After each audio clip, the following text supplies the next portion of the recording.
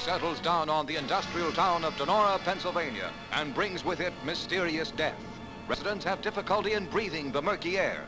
20 die, 400 others are stricken with respiratory ailments. This is the Donora Historical Society. We call ourselves the Smog Museum. We have the seminal event uh, in pollution history in the United States, and that, of course, is the 1948 smog disaster. Um, it is the worst air pollution disaster in the history of the United States. This is Donora at the height of its industrial power. This is around 1941. This is what we would refer to as uh, Roosevelt referred, Franklin Roosevelt referred to as the arsenal of democracy. This is all over the Monongahela, Allegheny, and Ohio River valleys.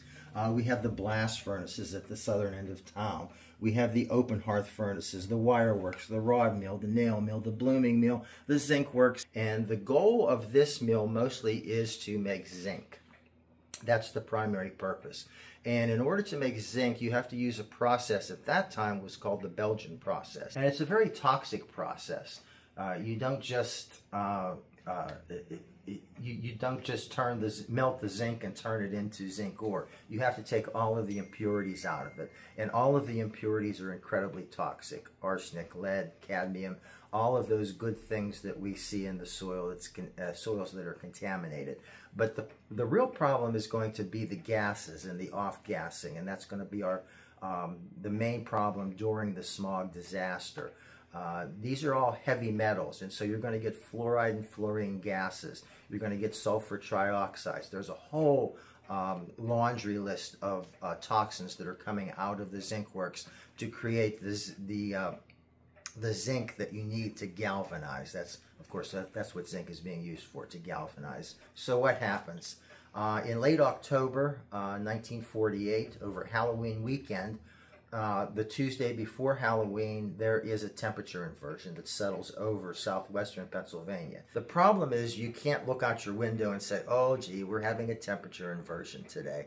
Uh, what you uh, they begin to experience it by the fog is not burning off during the day. The sunlight can't get through that layer of cold air that's trapping and all of the fog that's coming up naturally off of the river at this time of the year and all of the smoke that's coming out of the mills. Now remember, this is 1948, so you do not have 911. You do not have emergency medical technicians. You do not have protocols set into place.